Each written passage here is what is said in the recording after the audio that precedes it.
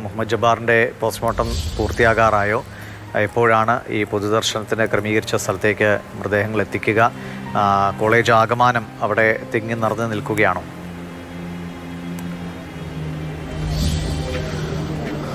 ദിവിഷ് അബ്ദുൽജബ്ബാറിന്റെ postmortem നടപടികൾ പൂർത്തിയായിട്ടുണ്ട്.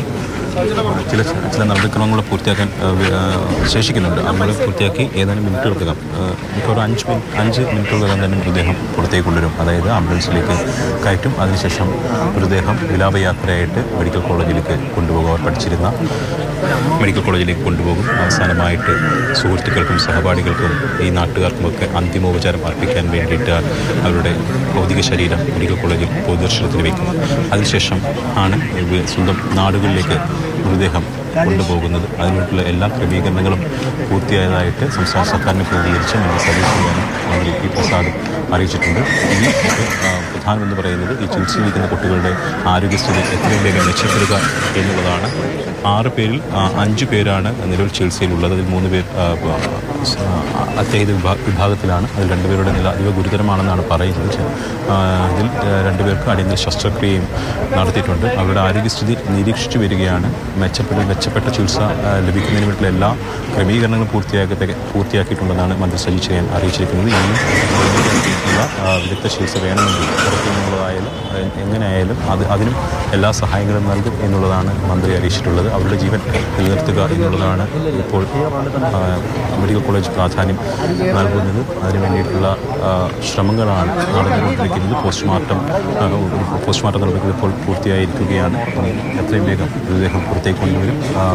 Ambulance ഉൾപ്പെടെയുള്ളവ തയ്യാറായി കഴിഞ്ഞിട്ടുണ്ട്. ഓരോരുത്തരുടെയായി ഓരോരുത്തരായി മോർച്ചയുടെ പുറത്തേക്ക് വരും.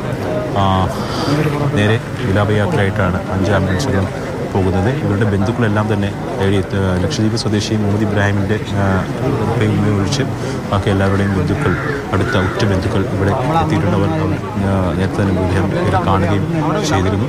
അവരും ഈ മൃതദേഹത്തിനൊപ്പം അനുഗമിക്കും.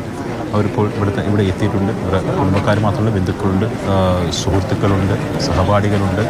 ഇതാരുമല്ലാത്ത കണ്ടുപോലും പരിചയമില്ലാത്ത നാട്ടുകാരുണ്ട്. കാരണം അത്രയേറെ വേദനിപ്പിക്കുന്ന നഷ്ടമാണ് ഈ അഞ്ചു പേർ. അപ്പോൾ ആ വേദനയിൽ പങ്കുചേരാനായിട്ട് നാടിന്റെ പല ഭാഗങ്ങളിൽ നിന്ന് എത്തിയവരുണ്ട്. ഇപ്പോൾ നമുക്ക് കാണാം അവിടെ ആംബുലൻസ് നീക്കി നിർത്തുകയാണ്. ആ, മൃതദേഹങ്ങൾ എന്റെ സൈഡിൽ നിന്ന് കഴിഞ്ഞാൽ അവിടെ കുറച്ച് പേർ ജനലിന്റെ അടുത്ത് നിന്ന് മൃതദേഹം കാണുന്നു കാണുന്നുണ്ട്. അവിടെ ശവപ്പെട്ടിയിൽ മൃതദേഹങ്ങൾ കിടത്തിയിരിക്കുകയാണ് അതിപ്പോൾ ആംബുലൻസിലേക്ക് മാറ്റുകയാണ്.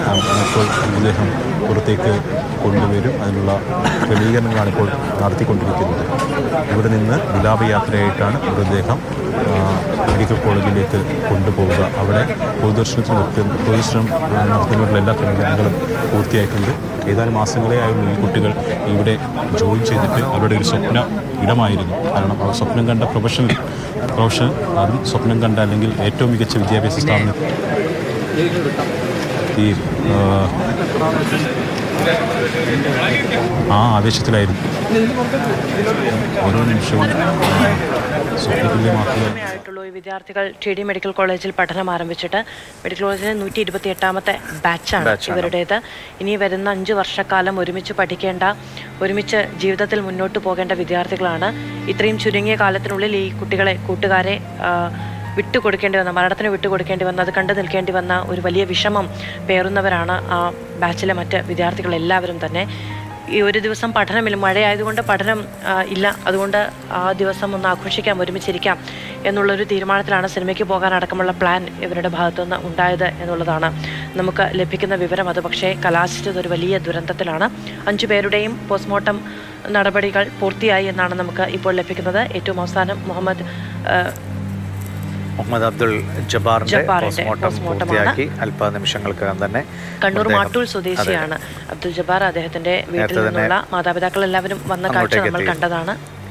എന്തായാലും വേഗത്തിൽ തന്നെ മൃതദേഹം ആംബുലൻസിൽ ഇനി പൊതുദർശനത്തിന് ഏർപ്പാട് ചെയ്തിട്ടുള്ള സ്ഥലത്തേക്ക് കൊണ്ടുപോകും. അവിടെയാണ് ഭണ്ഡാരം മെഡിക്കൽ കോളേജിലെ അവരുടെ സഹപാഠികളും അല്ലെങ്കിൽ എനിക്ക് ആ നാട്ടിലുള്ളവരൊക്കെ തന്നെ വല്ലാത്തൊരു ഒരു ഞെട്ടലാണ് അവരൊക്കെ ഇപ്പൊ തന്നെ മന്ത്രിമാർ രണ്ട് മന്ത്രിമാർ എം എൽ എമാർ എല്ലാവരും അവിടെ എത്തിയിട്ടുണ്ട്. കണ്ടു നിൽക്കുന്നവർക്കോ കേൾക്കുന്നവർക്കോ ഒന്നും സഹിക്കാനോ പൊറുക്കാനോ കഴിയുന്ന വിയോഗമല്ല ഈ അഞ്ചു കുഞ്ഞുങ്ങളുടേത്. അവരുടെ ചിത്രം സ്ക്രീനിൽ കാണുമ്പോൾ തന്നെ എന്തൊരു വേദനയാണ്. അത് അവർക്ക് ജീവിതത്തിന്റെ ഏതൊക്കെ ഘട്ടങ്ങളിൽ എവിടെയൊക്കെ എത്തിച്ചേർന്ന്